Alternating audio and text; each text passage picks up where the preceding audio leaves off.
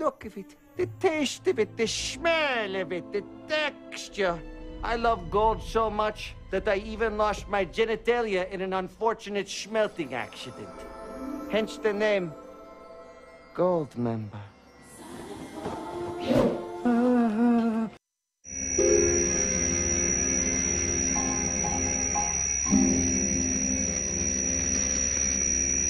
This is gold, Mr. Bond. All my life I've been in love with its color, its brilliance, its divine heaviness. Hey guys, in today's video we're finally going to get some paint on my Legio Custodes. This is going to be part one of probably a two part video, maybe three depending on how long these take. Um, and moving through completing my units of Legio Custodes. So first step, this is very similar to how I've um, done the gold on my Thousand Suns if you want to check those videos out. It's a very similar process to start with. So it's all been primed with uh, Vallejo Surface Primer, which is done through my airbrush. Uh, and then using Retributor Armour in a spray can from Games Workshop, I have sprayed them all gold. So the first stage is exactly the same as the Thousand Suns and that's a Reikland Flesh Shade Wash, and that just goes quite liberally all over the model. Getting in all the nooks and crannies, all the recesses, there's a bucket load of detail on these models, so uh, getting that in there is really good. It sort of dulls down the really bright sheen, but we'll be bringing that back up again with the next layers of painting. So that's the first part of the process, so we'll just speed through as this one's done and then finish the rest of the squad off.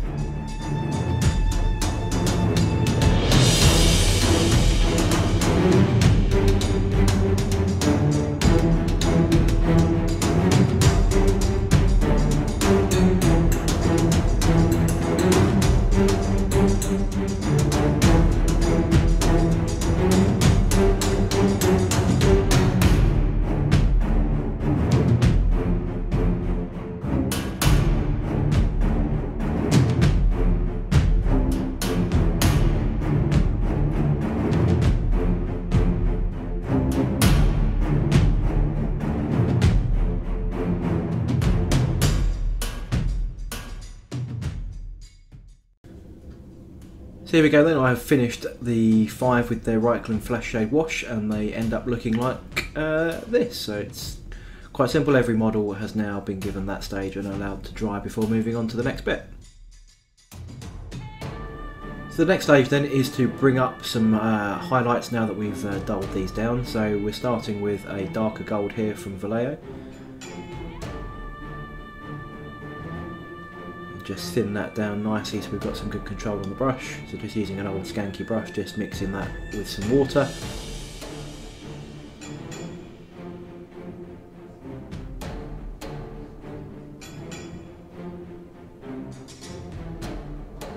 And now with a, a, double zero brush I'm using here, it's a case of just picking out all the winged detail, all the uh, all the raised areas, and this is for a detailed model, this is actually surprisingly a quick process I found because there's there's so much detail that the highlights are very targeted. So there's uh, a lot of raised areas rather than big flat panels. So you're not having to do too much on the big panel. So it's actually, as I said, quite quick just to sort of pick out uh, the, the the detail here.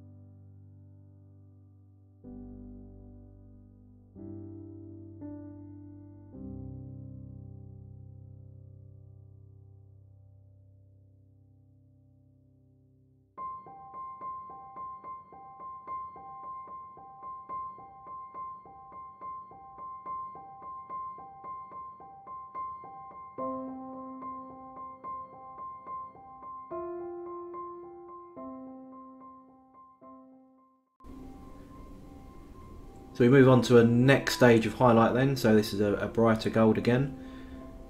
So I'm still using the same paint that I did for my Thousand Suns, as I said right at the very start. Really, um, the gold is very similar, but instead of dry brushing the gold, we're just targeting the the raised areas here. So it's more of a, a layered approach.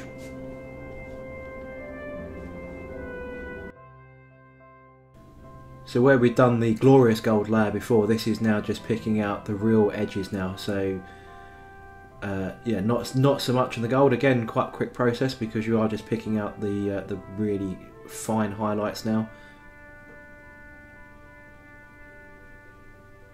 So you know the tops of the shoulder pads there, lots of the the winged iconography, uh, some of the fingertips, and you know sort of the, the top ridges on some of the leg greaves and so on. It's quite a you know if you've got a good bit of control. Again, I'm still using a double zero brush here um, but just picking out those extra bits of, of highlight.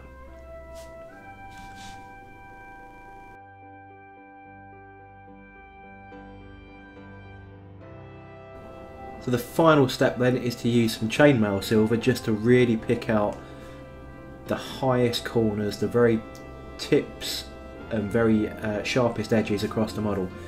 So you're not really doing a lot on this. I mean, if you go overboard, it does I think look a bit OTT, but here I'm just sort of picking out the, the, the very top of the the shoulder pads in the two corners, the very ends of the arm vambraces, the tops of the uh, leg greaves, and some of the the pointy bits on his toes. So just be really targeted where you're going to do this. Uh, the top of the the neck collar part there, and as I said, just going onto the knees now. Um, yeah, just be really targeted.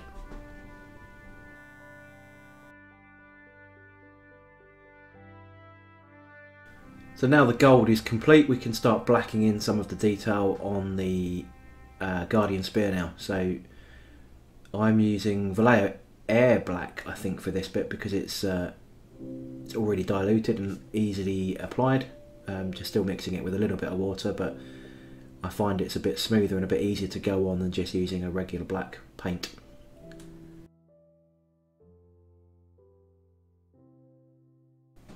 So we're just blacking in the Guardian Spear itself, just avoiding some of the gold um, filigree, I think is the right word. It's the uh, the swirly bits of pattern and the eagle head at the very top. So just covering in the blade, the magazine, the storm bolter, and the haft of the weapon. Just giving that a good colouring in black so we can highlight that up at a later stage. Also the uh, armour coiled uh, sections in the backs of the knees and the tops of the thighs um, sort of you know the ribbed uh, cable guards or whatever they're going to be called, the exhausts on the backpack, and then there's some chest cabling as well that you can just about see in the middle, and just black that in so that we can uh, either highlight that grey or do a metallic effect. I'm also doing the hair. Um, the hair is going to be, well, the plume is going to be red um, but red over gold is never a nice colour. When it always goes a bit funky for me, so I always black it in first. And there we go. Once we're done, we just move on to the red stage for this video. So this is a gory red, so it's a very dark red. I think it's the darkest red I've got in my collection. And here I'm just applying that all to the leather strapping around his groin and the hair plume and also on his left shoulder guard uh, there's a spot colour in the middle of there as well so just being careful how to apply that making sure you don't get it onto the gold as red over gold does show quite badly. But if you've still got some of the liquid paint from earlier some of your gold mixed up already uh, you can just you know um, touch in if you've making any mistakes but just try and be a bit careful where you're applying it. Especially on the shoulder guard here that I'm doing now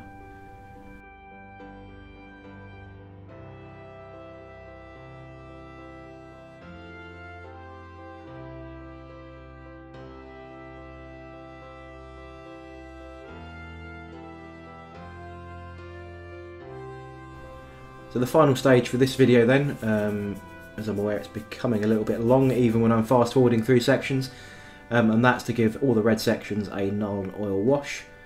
And that's just liberally applied all over the hair, uh, those shoulder straps, and into the left arm uh, parts of the red. Really focusing on that left arm, just making sure that you get a sort of a defined black line between the gold and the red panel. Then we'll be coming back to highlight the uh, red in the next video.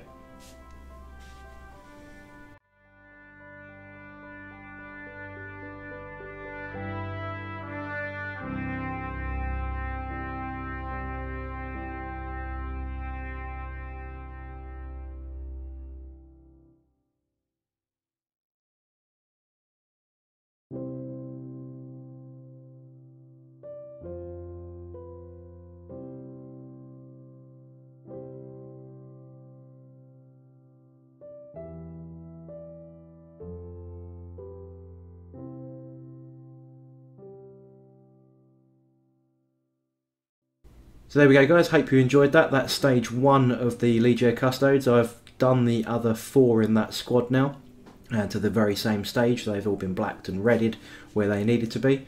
So I hope you enjoy it, and uh, I'll be back for part two uh, very shortly.